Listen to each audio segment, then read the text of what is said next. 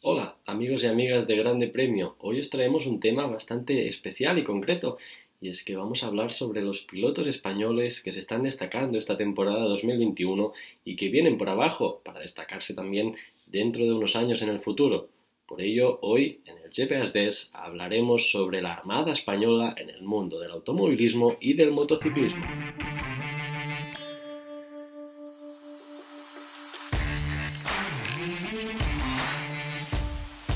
Pues como hemos comentado en la presentación, hoy hablaremos sobre pilotos españoles en el mundo del automovilismo y en el mundo del motociclismo. Y es que este 2021, curiosamente, pues se ha dado la circunstancia que muchos pilotos españoles eh, están destacándose en sus campeonatos respectivos, algo que realmente no acostumbra a pasar eh, cada año, ni mucho menos, pero es que estamos ante una situación de que, bueno, podemos tener múltiples campeones españoles y aparte pues tenemos una cantera que se está formando detrás que podría aún traer más fuerza al automovilismo español de cara a los próximos años. Eh, para empezar un poco a nombrar pilotos, a nombrar nombres que se están destacando, pues vamos a empezar con la Fórmula 1, donde pues eh, como todos conoceréis hay el rey del automovilismo español, que es Fernando Alonso, eh, bicampeón del mundo, y fue quien realmente trajo esa pasión, esa afición, ese interés a España por el mundo de los deportes de motor. Eh, Fernando Alonso obviamente logró unos éxitos que a día de hoy ningún piloto español ha llegado a, repetir, pero que, pues, ¿por qué no? Mm, ha sido como la gran influencia que ha traído a otros pilotos al menos intentar llegar a acercarse a esos éxitos a día de hoy pues no hemos, no hemos podido disfrutar de pilotos que repitan ciertas hazañas. Eh, tan solo hemos tenido dos pilotos españoles en la parrilla de Fórmula 1, fue Jaime Aguesuari y Roberto Meri, pilotos que no lograron tener grandes éxitos en, la categoría reina, pero que sí que ya era un poco eh, ese, esa influencia de Fernando que hizo ya traer más pilotos a la parrilla de, de Fórmula 1, algo que bueno, a lo largo de la historia pues nunca había eh, acabado de suceder de esa manera. Eh, realmente a día de hoy, en la Fórmula 1, en el automovilismo, la gran referencia que tenemos es Carlos Sainz, piloto de Ferrari, que viene haciendo años muy buenos y que realmente es la esperanza de futuro, es el, gran proyecto español para intentar repetir esas gestas de Fernando Alonso y que personalmente creo que no está tampoco tan lejos. El piloto madrileño viene de hacer dos temporadas muy buenas en McLaren, ha logrado grandes resultados que le han acabado dando permitiendo ese fichaje por Ferrari, que a día de hoy es la gran esperanza, porque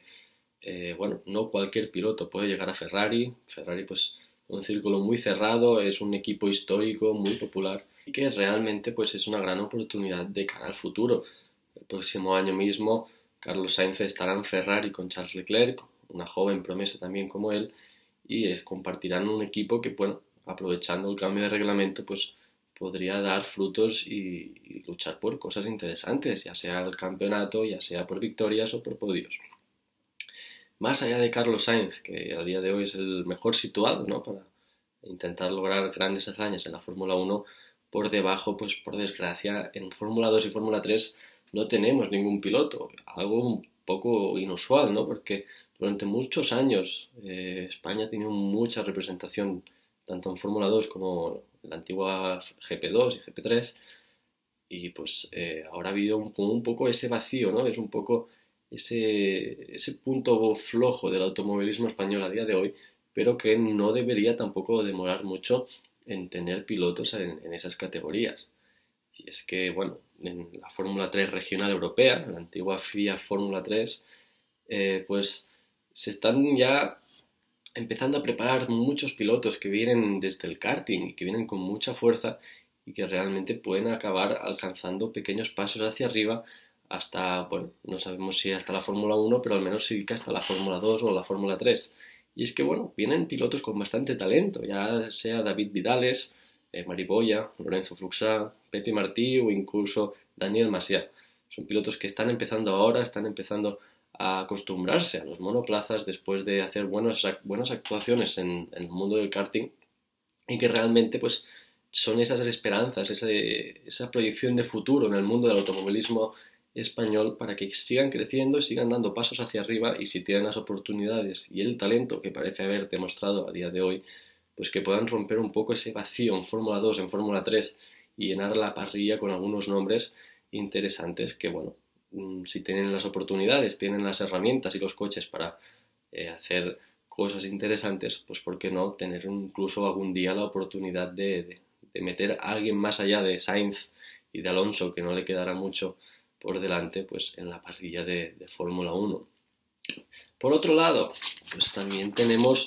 una representación un poco inusual, porque es que eh, España nunca ha tenido mucha tradición en las categorías eh, americanas de, automovilismo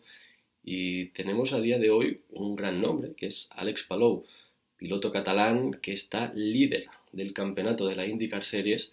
y es que es algo totalmente inusual. España ha tenido pocos nombres en esta categoría americana. Em, el más así conocido ha sido siempre Oriol Serviá, el cual nunca ha logrado grandes éxitos ni grandes hazañas en esta categoría, pero Palou ha llegado en pocas carreras eh, disputadas. El año pasado, pues ya hizo buenos papeles, pero es que este año ha logrado ya tres victorias, va líder del campeonato y este fin de semana podría consagrarse campeón. Eh, Palou ha hecho una trayectoria bastante diferente a lo que normalmente los pilotos hacen para intentar llegar a la, a la Fórmula 1 y eso también un poco eh, da esperanza ¿no? de esos pilotos que vienen por abajo intentar alternativas a la Fórmula 2, a la Fórmula 3 y también llegar a destacarse en un campeonato de gran popularidad como es la IndyCar. Eh, Palou pues podría lograr una hazaña totalmente histórica para España, que es ganar la IndyCar y es algo que podría abrirle incluso las puertas a la Fórmula 1 o a otros campeonatos muy interesantes que, que, ¿por qué no?, pues podrían darle una historia mayor y un renombre a nivel internacional muy interesante.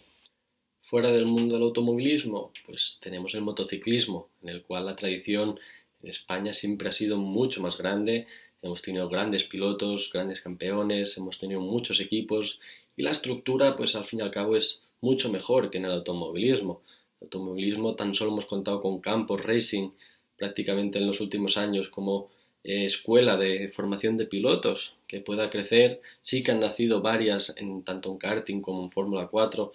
pues que también están intentando dar ese apoyo a jóvenes pilotos para crecer en el mundo del automovilismo, pero en el motociclismo pues ya llevan años instauradas, ya hay toda una gran estructura que hace crecer a los pilotos y dar esos pasos de Moto 3 a Moto 2 hasta Moto GP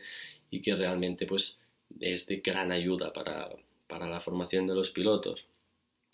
Eh, por ello, pues también pues hemos tenido grandes nombres en el mundo del motociclismo en los últimos años. El que más ha destacado sin duda pues ha sido Marc Márquez, quien ha logrado los mayores éxitos y las mayores hazañas a lo largo de, la última década prácticamente.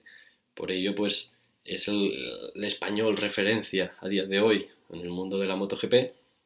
Pero aún así, pues tenemos también otros nombres, y, es más, el vigente campeón del mundo de MotoGP, Joan Mir, es también español, es un piloto que nunca había destacado excesivamente, no era un piloto que, que tengamos en, en, cuenta a la hora del campeonato, del mismo campeonato de 2020, pero que dio la sorpresa y que mostró que realmente pues con mucho trabajo, mucha dedicación y mucho talento pues también se pueden conseguir grandes cosas y pues obviamente un título mundial de MotoGP no se puede menospreciar y es realmente otro piloto a tener en cuenta y a seguir las próximas temporadas porque a pesar de haber ganado por, por así decirlo por sorpresa en 2020 sí que ya pues está mostrando que tiene madera de campeón y que puede también eh, luchar por repetir esa hazaña en los próximos años, ¿no? Aún así, pues en MotoGP este año hemos vivido también el debut de Jorge Martín, un piloto pues que venía de, ser campeón de Moto 3 en 2018 y que este año con la Pramac Ducati se está destacando y mucho, ha logrado una victoria ya y tres poles y aparte está haciendo grandes actuaciones que sin duda pues eh, se tendrán en cuenta en el futuro, ¿no? Yo creo que es uno de los pilotos de futuro a nivel español y que pueden dar aún grandes alegrías al país en los próximos años y sin, siempre en cuanto, pues, sobre todo ahora mismo la, la, estructura Ducati, pues cuenta con él, ¿no? De cara, de cara al futuro, de cara a tenerlo, ¿por qué no?, el equipo principal. En Moto 2, pues, ¿por qué no? También tenemos un gran destaque, que es Raúl Fernández, un joven piloto, pues, que se está destacando y mucho esta temporada, ya lleva seis victorias con solo 20 años y que realmente pues aún puede dar guerra contra Remy Garner, quien es el líder del mundial con seis años de experiencia en la categoría. Eso siempre pues eh, ayuda y mucho en, una categoría de gran adaptación, pero que realmente está mostrando su, talento y, su, garra y eso pues eh, ha tenido sus frutos ya y bueno,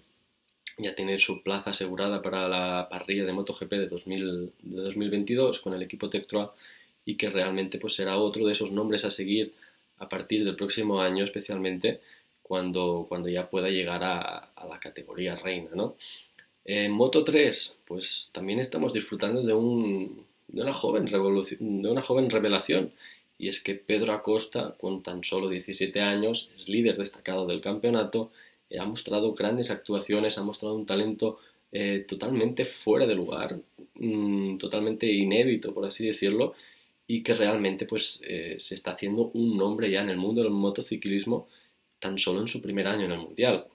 Lo cual pues dice mucho de, de él y de que seguramente será uno de los nombres a tener en cuenta en el futuro. Ya el año que viene sea campeón o no de Moto 3 pues ya tiene su plaza asegurada en Moto 2 con KTM y que de bien seguro si sigue este ritmo si sigue mostrando estas grandes actuaciones pronto lo tendremos en MotoGP.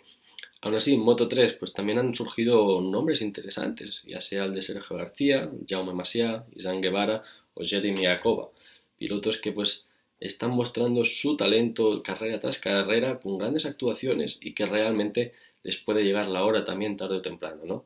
Entonces, eh, son muchos los pilotos de MotoGP, de Moto 2, de Moto 3 que se están destacando eh, día tras día y que están intentando mostrar su, su talento para tener las oportunidades y de bien seguro muchos de, esto, de esta larga lista de pilotos, si no es este año, será el que viene si no el otro, van a dar mucha guerra. Y es que se está juntando una muy buena generación en España que sin duda, si, si todo va según el camino correcto, pueden traer muchas alegrías al pueblo español.